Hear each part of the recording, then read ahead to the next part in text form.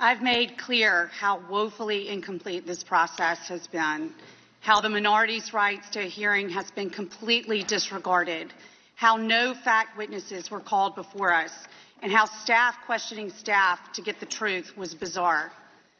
No matter what any member on this side says here tonight, the majority will unanimously vote to send these articles of impeachment to the House floor.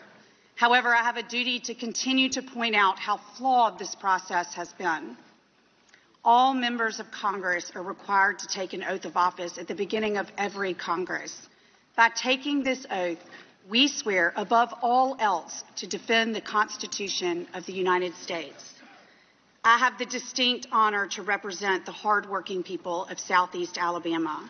They have placed their trust in me to represent their values and be their voice here in Congress.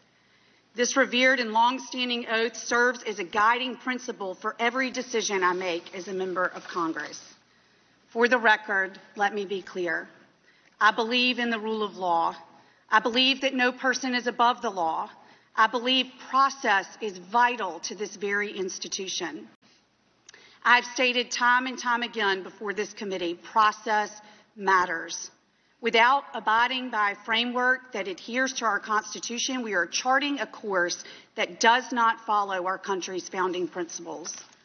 Whether you identify as a Republican, a Democrat, or independent, whether you agree or disagree with the President's policies, whether you like or even dislike a President, the American people should feel cheated by what has taken place here.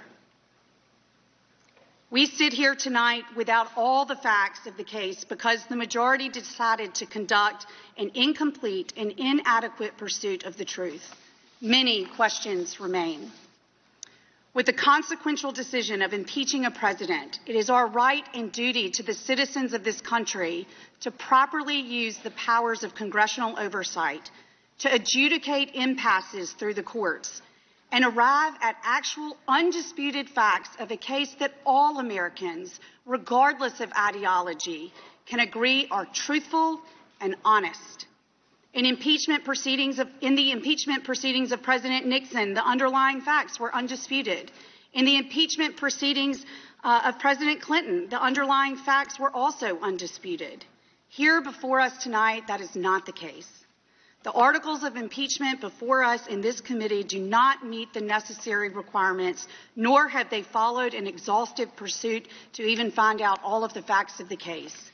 Therefore, the bar to impeach a sitting president of the United States has not been met.